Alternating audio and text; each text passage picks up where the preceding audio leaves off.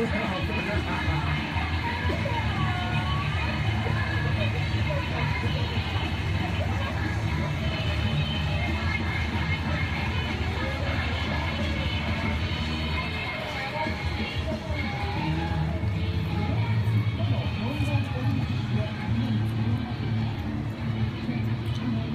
んばんは、トイトイトイです。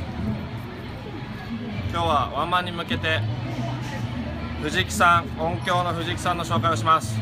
藤木さんはレコーディアルバムのレコーディングをすべてやってくれたり、アレンジも手伝ってくれたり、いろいろアイデアを出してくれたりする素敵なおじさんです。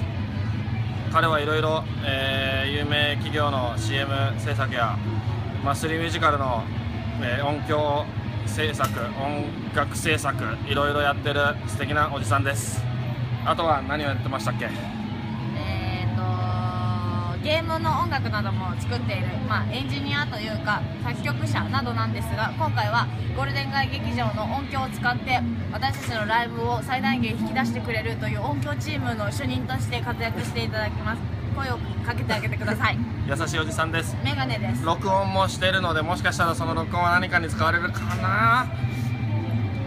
以上です。お楽しみに。あ詳しくはブログで。ブログで詳細バンバンリンク貼ります